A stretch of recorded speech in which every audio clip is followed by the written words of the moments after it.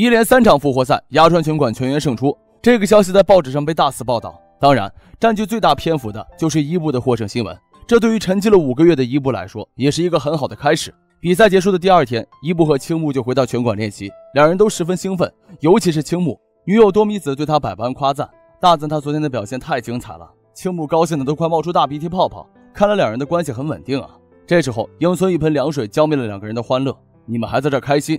不知道木村正在垂死挣扎吗？昨天比赛后，他一直在发烧，估计也是伤心过度。医生对他束手无策。大家要是还有良心，就过去他家送他一程吧。话音未落，青木就飞一般冲了出去。木村可是他的 CP 呀。结果到了木村家，大家发现木村妈妈正在店里忙活，一步就知道上当受骗了。再进入木村房间一看，果然他还活着，显然烧也早就退了，但是心情还很不好。毕竟看到自己心爱的玲子小姐成了他人的女友，失恋的男人怎么能不难过呢？伊布发现木村的房间里有一条大金龙鱼，颜色非常漂亮，这也是木村心爱之物。他从小小一条养到现在这种威武雄壮的样子，付出的心血可想而知。伊布心血来潮，决定喂喂那条鱼。木村还在自我调节，他安慰自己，拳击手不需要女人，为自己打拳才是最强的。英村落井下石，拿出木村的相册，把所有玲子相关的照片都拿出来毁掉。木村的心在滴血，却还强撑着假装自己没事。而这时候，伊布那边也出了事，他竟然把退烧药喂给金龙鱼吃。那金龙鱼挣扎了几下就嘎了。虽然天无绝人之路，但是朋友绝起来可以断绝你所有的后路。木村本不想死，现在被这几块料逼得非死不可了。还好他们翻出了青木和木村学生时代的照片，大家回忆一下过往准没错。那时候青木和木村才高一，是标准的鬼火小青年，他们青春的躁动无处发泄，没事就出去打架斗殴。这两人也确实十分厉害，两人打倒北高的六个学生，还能毫发无伤的全身而退。看着同学们投来的崇拜眼光，青木十分满足。可木村却还是觉得不够，他的热血无处安放。难道除了打架，就没什么能更刺激的事情了吗？这天，木村遇到了初中同学，那同学以前也很好欺负的样子，现在加入空手道社团，整个人气质都变了。他听说北高之前被青木和木村揍的那些学生，一直在找机会报仇，据说还找了高手助阵。他让木村一定要多加小心。不过木村和青木根本没在意这些，他们觉得两人联手，谁也不怕。这天，青木带着一群南高的同学去游戏厅。看到有人穿北高的校服在那玩游戏机，青木看到北高的学生就不爽，主动出手挑衅，却不料这下算是踢到合金钢板了。他打的人居然是英村，英村凶神恶煞的抓住青木领子，一个头锥砸得青木鲜血直流，然后英村一个后仰摔把青木撂倒，二话不说走出了游戏厅。当时青木就觉得这家伙应该就是北高学生找来的厉害帮手了。另一边，一群北高的学生砸了木村家花店，还打了木村妈妈，木村气得冲上去跟他们对打，可是毕竟双拳难敌四十手。很快，好好的花店和木村都被砸得一塌糊涂。眼看木村和青木都被北高的修理了，南高的同学气势一下就弱了，他们要向北高投降。青木和木村气得对自己同学拳脚相向，终于闹得全校皆知。最后，青木和木村被学校开除。本就失落的青木还看到自己的漂亮女友跟别人约会，自己头上原来一直顶着青青草原呢。从那以后，木村再也不喜欢漂亮的女孩子了。一肚子邪火的青木和木村来到北高找虐，北高学生也没让他们失望，果然打得二人鼻青脸肿，头破血流。那时候，英村刚刚接触拳击没多久。放学的时候，宫田接他回拳馆，在校门口发现青木和木村正在为一群北高学生围殴。北高学生一看到英村，吓得立刻停了手。英村看不得这种以多欺少的打法。北高学生看到英村不满，吓得作鸟兽散，瞬间就跑没影了。青木和木村从地上爬起来，虽然被一群人打了半天，可两人还是很有活力。他们已经知道英村与那些北高的混混没有关系，但青木毕竟被英村揍过一次，他们俩非要跟英村决一死战。英村觉得两人是可造之材，索性脱下外套跟他们俩好好打一场。宫田本来觉得英村一个拳击手没必要跟他们一般见识，可是英村太了解那两人了，根本就是欲求不满，做什么事情都半途而废，就跟学习拳击之前的自己一样。他想用拳头把他们打回正道。战斗结束了，木村和青木躺在地上爬不起来，但他们的斗志却比以前更为旺盛。他们现在只有一个想法，用拳头狠狠地打英村那张脸。于是两人经过多番查探，找到了鸭川拳击馆，英村果然在那里训练。两人二话不说，推门就往拳馆里冲。结果还没见到英村，就被鸭川会长给打了出去。鸭川会长还以为两人是来学拳的，这流里流气的头发不允许练拳，快滚去理发！真没想到找人打架还得先理发。不过木村和青木也想开了，既然英村在拳馆，那他们也加入拳馆，早晚有一天能找到机会暴揍英村一顿。原以为加入拳馆会马上学习打拳，却不料教练让他们先跑步，然后这两人就累得好像两条溺水的老狗，喘气都费劲，更别说有精力找英村报仇了。可是他们没有放弃报仇计划，靠着这口气撑着，两人日复一日的在拳馆里坚持了下来，熬过了一个个严酷的体能训练，空闲时间还要给拳馆的学长们当牛做马。这样过了三个月，两人累得连烟都戒了，终于熬到可以正式学拳了。又练了一个月后，英村让青木和木村上擂台打练习赛，两人眼睛都亮了。皇天不负有心人呐，他们终于能找英村报仇了。可他们真的想错了，在擂台上的英村把他们揍得更惨，因为在日常生活中，英村还要顾及打架不能用拳头的准则，在擂台上的英村彻底放飞自我。青木和木村被揍的都看得太奶了，可是他们不服输，以揍英村为目标，玩命的训练。终于有一天，他们发现英村对抗他们也变得吃力了。以前揍他们一顿轻轻松松，现在揍他们以后也汗流浃背了。两人看到了胜利的希望，训练得更加努力了。这是他们这辈子第一次如此专注的去做一件事，每天都是激情澎湃的。终于有一天，木村在跟英村打练习赛的时候，拳头擦到了英村的脸。他们的努力终于有了回报，英村十分欣慰，按着青木和木村狠狠一顿揍。鸭川会长看着两个人进步飞速的模样，十分满意。于是有一天，教练告诉他们俩：“你们俩可以上擂台比赛了。”于是两个混混摇身一变，就站上了拳击手正式对战的擂台。可真的站上擂台了，他们才感觉到害怕。第一场对决是木村上场，他整个人都是懵的。比赛开始了，都不知道是什么情况，直接被对手一拳撂倒，丝毫没有还手的余地。教练那边说什么，他都听不进去了，整个人的脑子已经停止工作了。最后还是英村冲到擂台旁边，一顿臭骂，喊醒了木村。木村拼命练习了八个月，还经常跟英村对战，个人实力其实非常出色。一旦进入状态后，轻松将对手一拳 KO。听到观众的掌声，木村都傻了，自己居然也有获胜的时候。他站在擂台上，躬身对看台上的观众们鞠躬致谢。自己一个小混混，何德何能，可以打到这个地步？曾几何时，他总是将人看得很扁，自命不凡，不服管教，一辈子很可能混得乱七八糟，最后碌碌无为，成为社会败类。可现在，他真的改变了很多。朋友说他成熟了，有担当了。他知道这一切都是拳击带给他的改变，说拳击给了他们第二次生命都不为过。果然，青木也赢得了比赛。他们两人经过这次比赛的洗礼，终于彻底脱胎换骨了。青木和木村爱上了拳击。爱上了在擂台上 KO 对手的快感，也爱上了听观众们欢呼时候的成就感。他们决定对英村道谢，可是话到嘴边却说不出来。或许他们不应该把英村再当成假想敌了。英村也算是对他们有知遇之恩了。可英村生怕两个人尴尬，嚣张的狠狠讽刺两人一顿。很好，刚才那一点感激之情瞬间消散。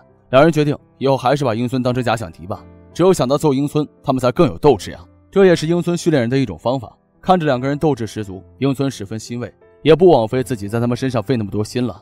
江木和木村的故事讲完了，伊布听得意犹未尽，他很好奇地询问：“那时候到现在已经五年过去了，你们有没有完成当初的目标呢？”真是哪壶不开提哪壶呀！青木和木村恨不得狠狠揍伊布一顿。他们俩要是能打得过英村的话，至于被人整天欺负吗？最后大家狠狠闹了一场，木村的伤心也就被冲淡了许多。更值得庆祝的是，那条金龙鱼居然活过来了，可喜可贺呀！鸭川拳馆这边其乐融融，而拳击场上依旧风云变幻。自从千堂成为冠军后，这个人就跟打了鸡血一样，越来越勇猛。这一次竟然在第一回合就把牙木 KO 了。要知道，当时伊布虽然也把牙木 KO 过，但那也是第四回合的事情了。就目前的情况来看，千堂确实比伊布更可怕。不过牙木就可怜了，居然成了对比的计量单位。比赛结束后，牙川会长和八木一边往家走一边聊，都觉得压力山大。这时候，千堂竟然把采访的记者抛在屋里，跑出来追上牙川会长。他说想约战伊布，拜托会长给传个话。会长告诉千堂，战斗的机会有的是，过不了多久，伊布就又会去挑战主题赛，到时候千堂就要乖乖的把冠军腰带交出来了。会长在外面放狠话，而伊布在家里看着录像带沉思。他仔细的分析千堂的每一个动作，发现他确实变得比以往更强了，比跟自己比赛的时候强，甚至比跟沃鲁库比赛的时候更强。千堂很擅长判断敌人的假动作，然后反向出拳，让敌人无路可走。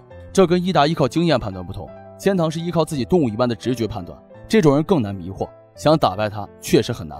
这时候，伊布听到敲门声，出门一看，竟然是鸭川会长。老头子告诉伊布，刚才他出去跟千堂放狠话了，冠军腰带非伊布莫属。伊布要是不想给他丢人的话，只有一条路可以走，那就是变强、变强再变强，干掉千堂，拿到冠军。为了提升拳馆的整体气势，鸭川会长决定全体集训。而伊布也说，其实自己跟千堂的比赛还没结束，上次是千堂晕倒了，比赛才被迫终止。如果继续打下去，鹿死谁手尚未可知，所以他和千堂早晚要分一个真正的胜负出来才行。一听说要出去集训，大家都十分激动，因为鸭川拳馆的集训向来是去海边，大家在训练之余可以吹吹海风、游游泳、看看漂亮妹妹，生活多么丰富多彩。可当大家都收拾好了泳裤，鸭川会长却说这次集训是去山里，然后大家就跟着会长到了一处人迹罕至的山中民宿。民宿的经营者阿猫是会长的老朋友，也是拳击运动员。鸭川会长留下英村研究战术，让伊布、木村和青木去跑步练耐力。原来跑步就很累人了，他们还要在山上跑步，上山下山更是对耐力的巨大挑战。上山累，下山更累，还要控制速度，不至于让身体受伤。突然，伊布一骑绝尘，飞速跑下山。小田教练还叮嘱伊布控制速度，不要太快。可伊布直指身后，大家回头竟然发现山路上站着一头熊。好了，这下谁也不再压着速度了，吃奶的力气都使出来了，连滚带爬的跑回了民宿。晚上，劳累了一天的大家都睡得跟死猪一样，伊布却一点都不困，他还在想天堂的事情。亚川会长也没睡，他出来看着伊布的样子，就知道他在想反制天堂的拳法。伊布的轮转位移对付后退型的拳手十分有效，但对付千堂这种猛攻型的却没啥用。那是因为伊布使用的并不是真正的轮转位移。发明轮转位移打法的美国名将天布西会一直打出轮转位移，就算面对再强的对手，也会逼得对方后退。所以伊布现在需要训练的就是能逼退一切的力量，不光是拳击力量，伊布下半身必须耐得住千堂的强打，就算身体互撞，也要有不输给人的气势。当伊布能做到这些的时候，就是他轮转位移彻底完成的时候了。这次集训就是要培养这种力量。第二天跑步的时候，伊布和青木木村让阿猫为他们准备了防熊的铃铛。英村觉得太羞耻了，不理他们，先独自跑掉了。虽然这次他们没有遇到熊，可还是被一条小狗吓得屁滚尿流。之后他们就要进行个人有针对性的练习。伊布劈柴练习下半身稳定和背肌，木村和青木练习在激流里蛙跳。阿猫看木村他们动作不规范，还亲自上前指点，结果就是差点被激流冲走，命丧当场。这训练还挺费教练的。英村练习的是负重登山，背负的重物就是八木先生。结果小狗和阿猫都扑了上来，英村气得差点揍人。原本以为劈柴很简单，可真上手了，伊布才发现。根本很难找准位置，一斧子劈下去。刚好阿猫路过，伊布就跟前辈请教。阿猫现场为他演示了一下如何劈的稳准狠，还说拳击手不光要练习攻击敌人，还要练习肌肉保护自己。因为伊布是正面打击的选手，这种人更容易打出脑损伤。而且正面打击的比赛不能光靠拳击，要找到不出拳也能出击的方法，这就是佯攻。佯攻所有拳击手都会，只是大部分人一做出来就会被人看穿罢了。真正好的佯攻是要配合杀气。让人分不出来真假，才能防不胜防的。当年会长跟阿猫曾经对打过几次，阿猫被会长已经逼到围城了，可他就用那种有杀气的佯攻，让会长误以为他出拳了，结果错过了最佳的攻击机会，反而被阿猫 KO 了。看伊布还是有点不明白，英村索性亲自示范给伊布看。两人站上擂台，英村一上场就杀气十足，根本不像是在练习，每一拳仿佛都带着不弄死伊布不罢休的气势。伊布吓得连连后退，刚躲过英村的上一拳，下一拳立刻追了过来。伊布还想躲，突然眼前一花。本来应该打中自己的拳头突然不见了，再定睛一看，那拳头在另一个方向。伊布以为自己眼花了，可这样的情况再三出现。本以为是上拳，可英村却打出直拳；本以为是左拳，可英村却打出右拳。伊布完全搞不清楚状况，最后只能双手抱头拼命自保。英村告诉他，这就是佯攻的好处。善用佯攻，一个是可以达到出拳的效果，另一个是容易事先知道对手的躲避方向。亚川会长告诉伊布，没有杀气的佯攻就会完全失去作用。而真正的杀气是靠着不断磨练自己五官感触，才会有动物一样敏锐的本能。英村有这种本事，天堂也有。要想打败天堂，伊布只能加紧练习，让自己变得更厉害。从那天开始，伊布的魔鬼训练开始了。要想训练出更有力的肌肉，不是一朝一夕能办到的。伊布除了要跟会长打拳，还要去练习劈柴。阿猫教导伊布，打拳的时候一定要紧盯对手的眼睛，从他的眼睛里就能分辨出他是否要出拳。看到伊布这么努力的练习。本想偷懒的木村和青木也不敢偷懒了。不过英村倒是永远十分自觉，大热天的没完没了的负重跑山，就连被他背着的重物阿猫和八木都累得不行。